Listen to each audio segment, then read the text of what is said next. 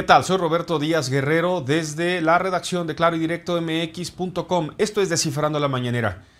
Esta mañana, el presidente Andrés Manuel López Obrador desde Palacio Nacional ha presentado los eh, primeros detalles de un plan de acción para dar cumplimiento al compromiso recientemente adquirido con los Estados Unidos para detener el flujo migratorio.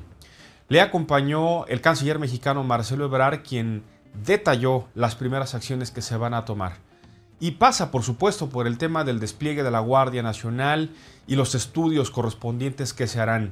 La ratificación del gobierno de que se respeta el derecho a la migración y a los derechos humanos y por tanto el despliegue de la Guardia Nacional, dice el gobierno, dice López Obrador y Marcelo Ebrard, no significa que habrá una persecución hacia los migrantes, pero finalmente forma parte de los acuerdos con el gobierno de los Estados Unidos.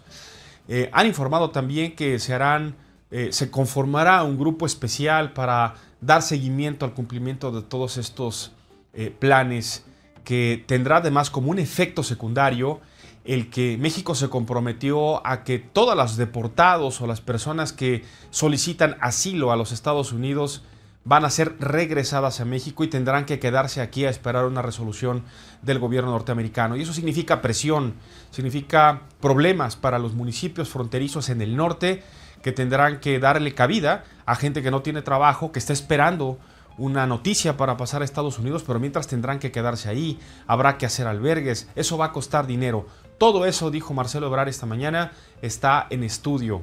Negó una vez más que la insistencia del presidente Donald Trump, que hizo nada menos ayer de que el Congreso mexicano, el Senado, tiene que aprobar algo, tiene que aprobar el acuerdo.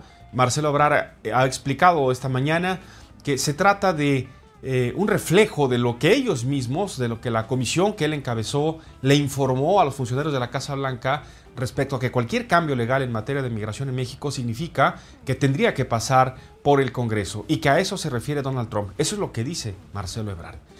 Pero han comenzado a correr los minutos contra reloj porque hay 45 días para hacer una primera revisión de lo que el canciller mexicano ha dicho el día de hoy, esperan tener éxito porque no hay ningún referente de que se hubiera hecho algo en la materia sin contar con todo el abandono que hay en materia de migración. Pero este tema en específico que ha comenzado ya a tener ahora sí más claridad hacia dónde va y qué efectos podría tener para nuestro país, lo vamos a analizar en punto de las 2.30 de la tarde en la edición de Claro y Directo en vivo a través de Facebook Live y de YouTube. Los espero.